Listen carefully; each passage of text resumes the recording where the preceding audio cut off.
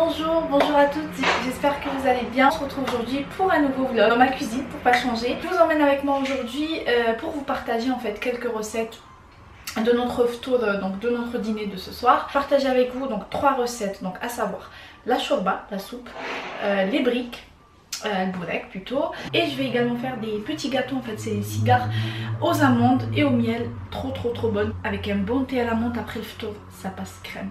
Euh, du coup là il est quelle heure? Il est 11h30 je suis réveillée depuis 8h euh, voilà j'ai fait tout ce que j'avais à faire en termes de ménage de linge tout ça tout ça. Le petit bambino a bien dormi ce matin. Hein? T'as bien dormi? Oui. Les filles, donc tout de suite on va commencer avec les cigares. Au moins c'est fait. C'est parti. Bisous bisous. donc là je vais commencer par faire euh, frire mes amandes. Voilà. Je vous les montre les filles. Ici j'ai 400 grammes euh, d'amandes mondées comme ça.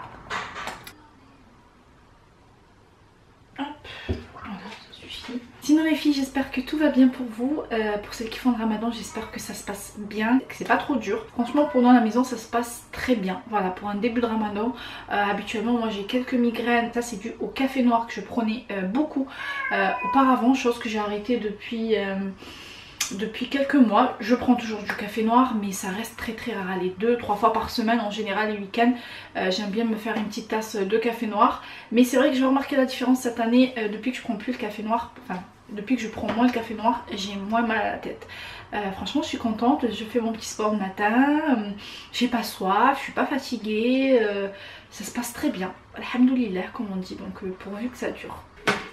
Je vous fais une petite confidence les filles, j'ai vraiment pas hâte de reprendre le boulot. Pourtant je travaille que deux fois par semaine, mais j'ai pas hâte du tout. Moi je suis une nana qui aime bien rester, qui aime bien rester chez elle à la maison.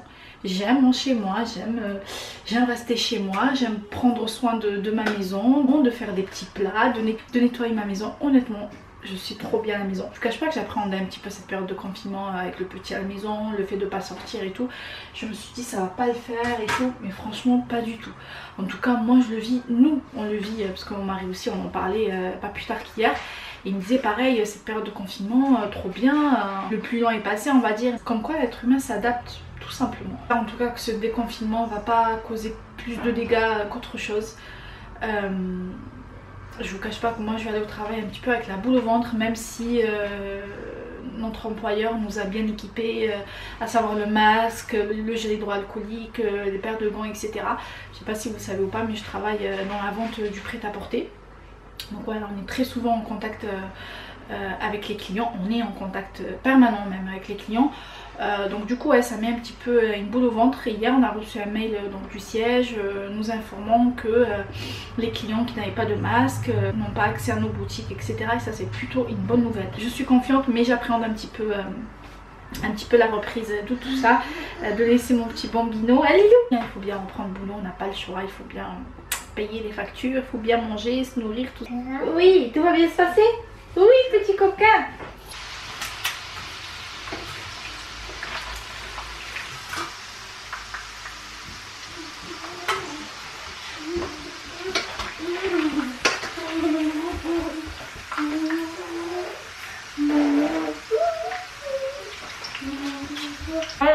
Qu'il faut obtenir. Je les ai mis donc dans du papier euh, sopalin comme ça. Je laisse absorber et refroidir surtout. Et je viendrai donc mixer tout ça euh, après, euh, après refroidissement. Voilà les filles, mes amandes ont bien refroidi. Je vais du coup les passer au mixeur pour avoir une poudre tout simplement.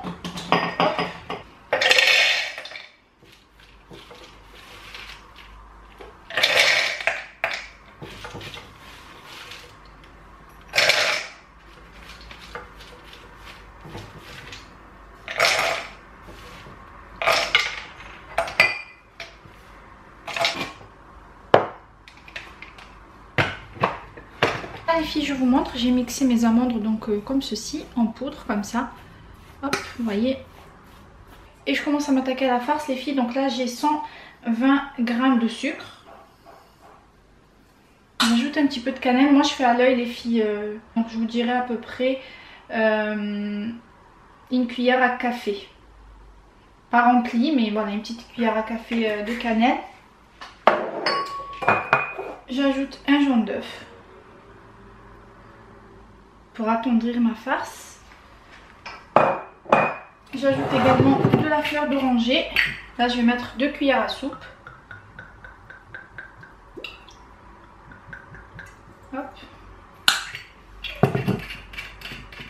J'ajoute le beurre, là les filles, j'ai 80 g de beurre. Voilà, je mélange et j'ajouterai donc mon beurre petit à petit.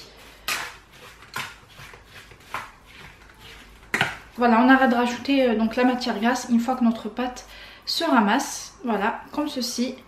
Et je vais venir tout simplement former des petits boudins. Je vous montre.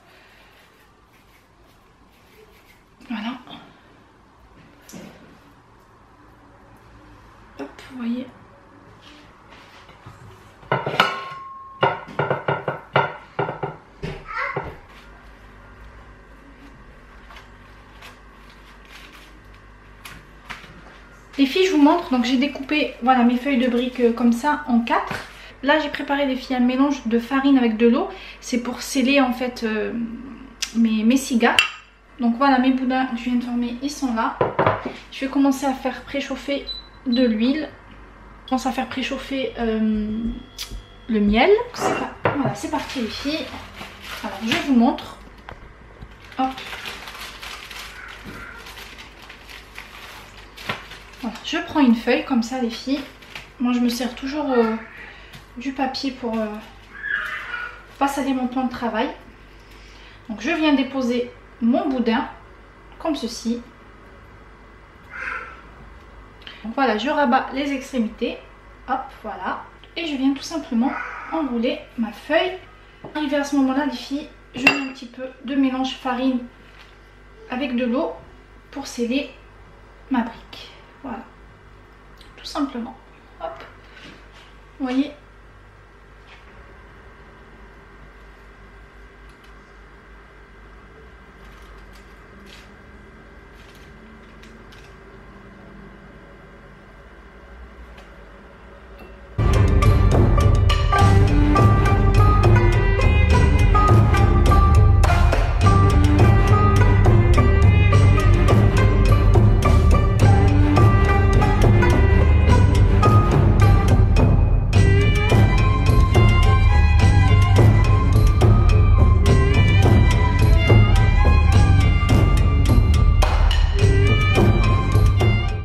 Là je vous montre, j'ai concassé un petit peu euh, je les ai fait griller, je les ai concassées. Mes cigares, les voici. Hop, je les ai trempés dans le miel comme je vous ai montré en vidéo. Je vais tout simplement tremper mes cigares de cette façon-là dans les amandes. Voilà, je vous montre. Hop, vous voyez? Vous pouvez les laisser comme ça les filles hein, si vous voulez. C'est pas obligé. C'est juste pour, euh, un petit côté euh, sympa visuel, c'est tout. Hein.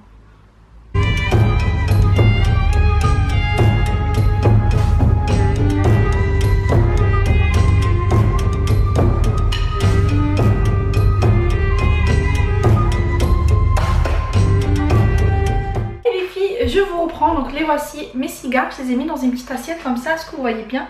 Les voici, donc voilà je les ai disposés comme ça sur une petite assiette euh, pour ce soir. Il en reste quelques-unes, euh, je, vais, les mettre dans une petite boîte hermétique parce qu'on sert très bien hein, quelques jours euh, dans une boîte hermétique sans problème. Et là je vais attaquer. Donc le repas, les filles j'ai un petit peu de retard, il est 17h40. Je vous avoue que j'ai fait une petite sieste, oui je me suis laissée aller pour une petite sieste et franchement ça fait du bien. Voilà j'ai nettoyé, j'avais une bonne vaisselle par derrière. Donc ça c'est fait. Oui mon cœur tu veux quoi? D'accord, je vais te donner. Et je m'attaque au repas de ce soir. On va commencer par faire la soupe, les filles, euh, la choba. Donc, c'est parti. Alors, c'est parti pour la choba. Les filles, là, j'ai mis un petit peu d'huile de, tournesol.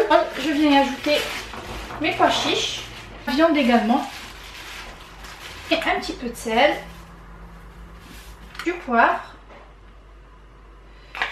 Je fais revenir tout ça, les filles, à feu doux quelques minutes. J'allais oublier les oignons les filles. Je vais chercher les oignons, je reviens. Là j'ajoute également mes oignons les filles. Là j'ai un oignon haché que j'ai congelé. Hein. Vous avez partagé euh, ça en vidéo pour les préparatifs du ramadan. Puis je fais revenir tout ça donc euh, quelques minutes. Juste le temps euh, de colorer en fait l'oignon et la viande. Je vais faire par ici.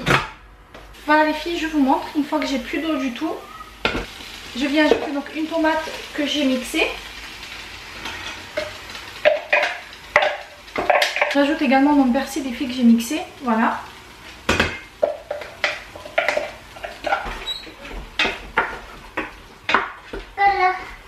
J'ajoute également du beurre les filles. Moi c'est du semaine que je mets, c'est facultatif. Mais j'aime bien le goût, euh, j'aime bien le goût du semaine. Oui. Ensuite les filles, je viens ajouter une cuillère à soupe de concentré de tomate. On est presque plus d'ailleurs. Il faudrait que j'en ai racheté. Ensuite les filles, je viens ajouter l'eau. Moi je mets à peu près 2 litres d'eau. Je fais la soupe pour 2 ou 3 jours parfois, donc euh, voilà, j'en fais beaucoup. Alors les filles, en ce qui concerne les épices, moi je mets donc du curcuma, passe le hanout, du piment doux,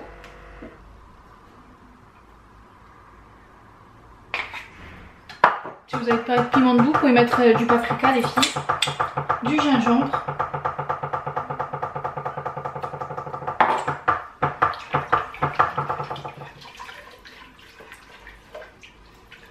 Allez, tout simplement je ferme et je laisse cuire ça tranquillement pendant à peu près 45 euh, minutes à 1 heure. Voilà, juste le temps de laisser à la viande de cuire. Ensuite les filles, j'ai préparé les dates pour ce soir. Il faut savoir que moi j'adore les dates. Je commence par ça. Je mange beaucoup de dates, euh, encore plus pendant le ramadan. Donc voilà, je les ai euh, lavées, enfin plutôt rincées, dénoyautées. Je vais venir tout simplement les décorer avec les noix. Les noix aussi c'est très bon, ça c'est connu. C'est très facile les filles, je vous montre, je zoome. Hop. Alors, on prend une noix, de préférence entière. Voilà. Hop. J'ouvre en fait euh, ma date. Voyez Comme ça, comme ceci. Oula, c'est flou. Voilà, j'ouvre ma date comme ceci. Et j'insère en fait la noix à l'intérieur, tout simplement. Voilà comme ceci. Voilà les filles, je vous montre, voyez.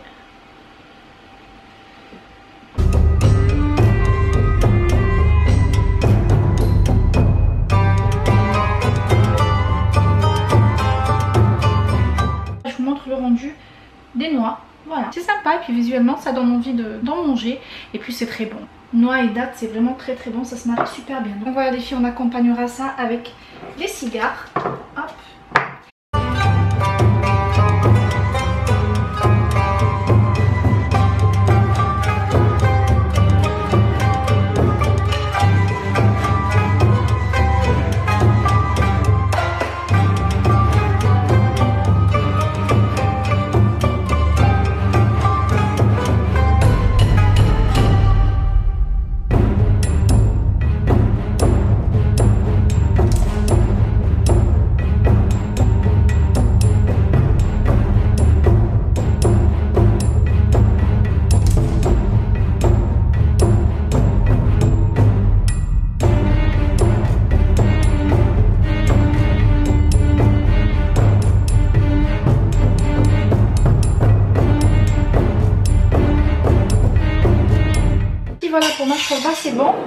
moi j'aime bien la faire avec du blé.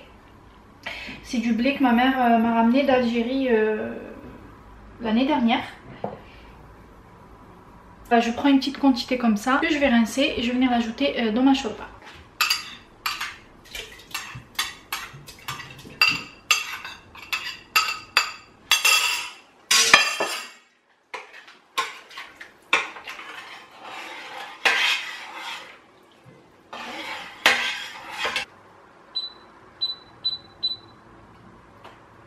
Ensuite cuire le blé que je viens d'ajouter pendant environ entre 5 et 8 minutes. Voilà entre 5 et 8 minutes. Alors ok les filles là je vais m'attaquer euh, donc au. Ce soir je vais le faire donc autant. J'ai mis du temps, euh, du temps nature. J'ai ajouté quelques petites rondelles euh, d'olive. Voilà. Je vais ajouter du tartare par dessus. là j'ai découpé un oignon pareil. Je vais le mettre avec.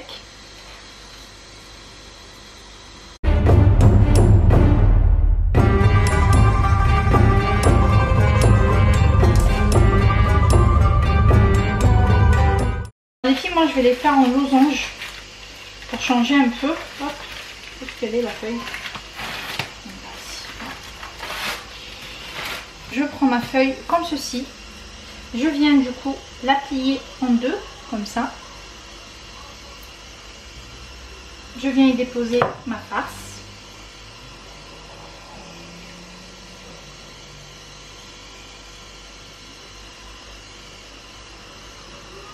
J'ajoute les oignons. Je viens façonner mes bourrecs, voilà, de cette façon-là.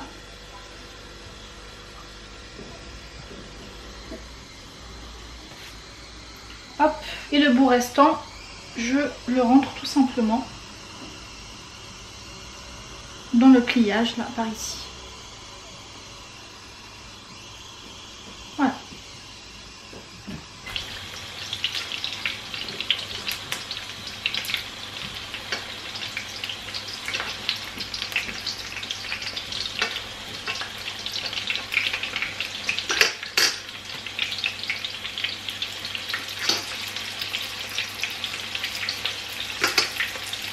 Je du pain maison qui vient de sortir du four juste par ici derrière moi.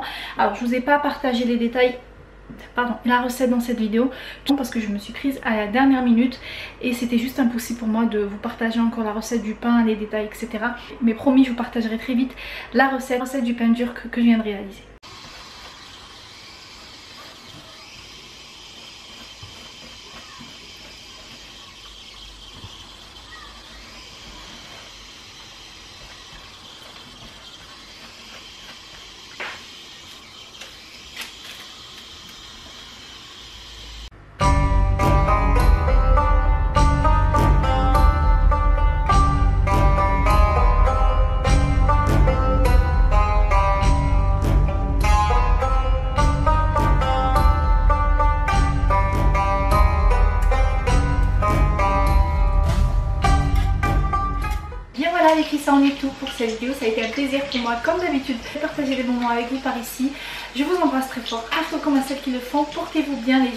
Très vite pour une nouvelle vidéo.